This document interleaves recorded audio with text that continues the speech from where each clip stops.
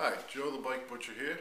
Uh, in this th third of a series of three, I'm going to be installing push rods, chrome moly push rods from Andrews, and uh, some uh, chrome blocks, tappet blocks, and a few other things. And as you can see, I've taken the tank off. My little beauty. and I've also removed the rocker box cover. And unfortunately, I'm going to have to take the rocker arms off to get this together. Okay, after removing the uh, top cover bolts, taking the top and the spacer out, I've uh, removed these two large rocker cover bolts that are underneath and your shaft should slide right out. There's a notch in here on the side and that cover bolt keeps this from turning. I'm going to remove that. Yeah, everything looks good. Slide that back in and put it away. Okay, you can see I have my uh, push rod tube all ready to go and I've got this just finger tight taking out all the lash so there's no slop in it. Then we're going to take this and we're going to go four full turns. Tighter. These are 7 16th inch wrenches on the Andrews. If I get it on there.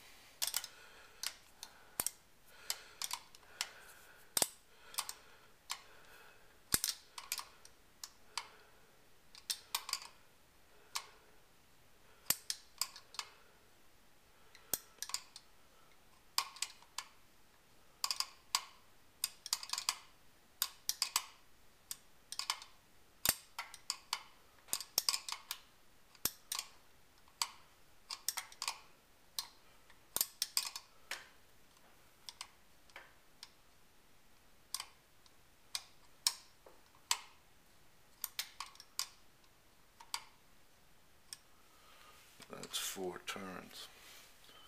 Slide the lock nut down. And I'm going to wait a few minutes to make sure these, although I'm sure they're empty, that these tappets uh, burn down.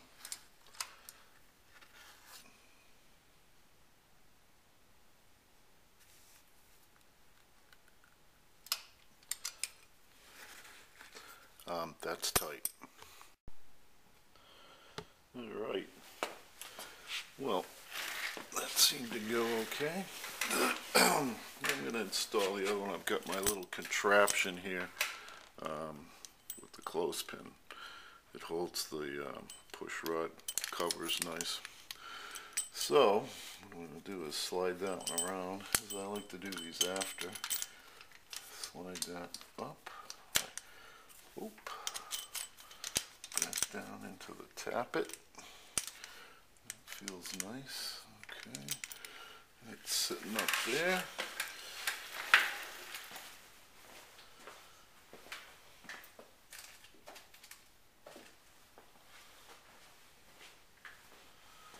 I've already cleaned the stock uh, arm, rocker arm. I'm going to set it into place. Slide our pin in, rocker arm shaft. Now we've got a notch on it right here. Let me move the camera.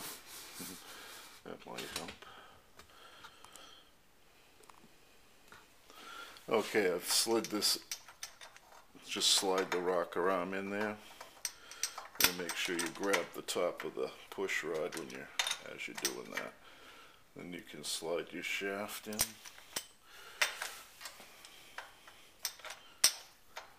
And there's a notch in the top of it. We want to put that towards the, the uh, bolt, bolt cover. The bolt hole. Clean the bolt. And let's see if we can get this to sit nice for me. Yeah, there we go. This moves around till you don't forget your I did I forgot my washer an O-ring. So guess what? That's coming out. I'll be back when I fix that. Okay, let me try it again. Put the washer and the O-ring in. The push rod assembly. That will be a real drag. Uh, but it's early, it's right after Christmas, so I'm, I'm going to try not to make too many mistakes. Okay, see if I can get this back in here.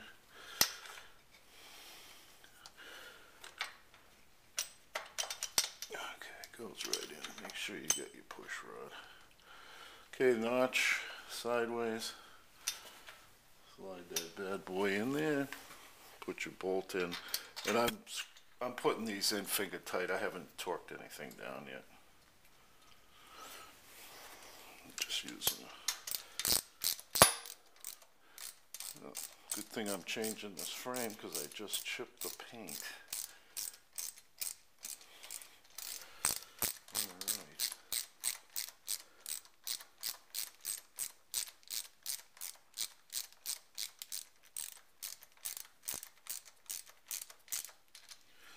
That's really just barely finger tight and I'm going to adjust that the same way then I'll be back to show you how to put the push rod covers back on. Okay, I've taken the rear cover off and uh, I had to split in two to get it past the frame. Uh, I've already put the intake for the rear in. It's at top dead center. The O-rings are in. I've taken this out and put it back in and I'm just about to slide this pin in like that. And I've captured the other push rod and adjusted it a little bit.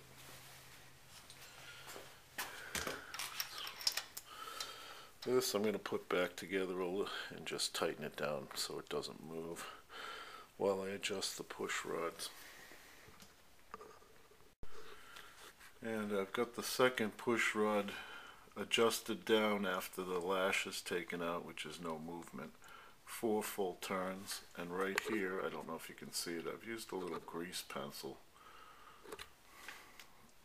A little grease pencil here and a little bit here just to make sure nothing else is turning and it makes it easier to count. Now I'm going to uh, let that bleed down and make sure I can turn these because they're nice and tight and this one can move now. Okay. Okay, no sense watching me struggle with the push rod covers. Basically all I did was use a screwdriver to get that down and then pop that in. The head is put back together and torqued down. I'm going to put the head gaskets back on and then I'm going to put the ignition back together. Put the rotor in and then the module. Just about to finish this video up. I've installed the rotor and I'm about to install the ignition module. I've scribed two marks in here to line it up. Then I'll put the spacer screws back in in the cover. I've already turned it over. It's at top dead center. Everything seems to be running smooth. I'll have to put that in, but I have to grind the outside of it down. I don't want to scratch the chrome. But uh, looks like everything's ready to fire up. Put the exhaust on and off we go.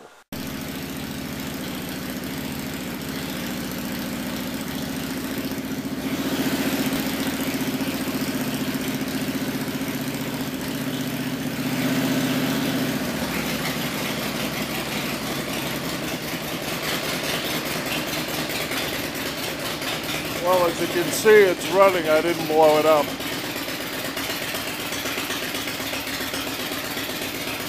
I'd love to take it for a ride, but it's snowing out.